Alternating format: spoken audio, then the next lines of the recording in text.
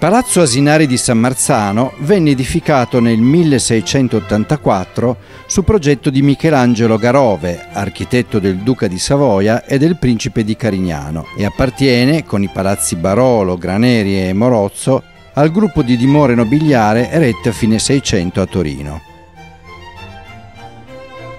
Ampliato in una fase successiva dagli architetti Benedetto Alfieri e Francesco Martinez, il palazzo, pur privo dello sviluppo verticale di Palazzo Graneri, si pone in termini più innovativi proprio per quanto riguarda l'atrio, risolto con una volta a spicchi che già prelude alle soluzioni adottate in Palazzo Provana di Collegno.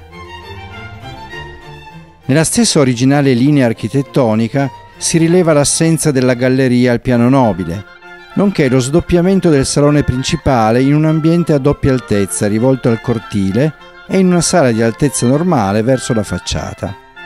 Al suo interno si trovano appartamenti decorati su disegno di Benedetto Alfieri di metà Settecento.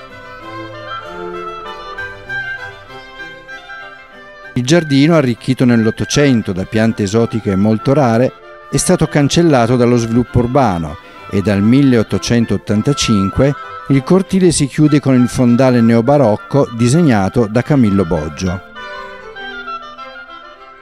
Costruito per la famiglia Asinari di San Marzano, il palazzo venne ceduto successivamente alla famiglia Ceriana e nel 1946 al cavaliere del lavoro Silvio Turati, che ne fece la sede della società Carpano.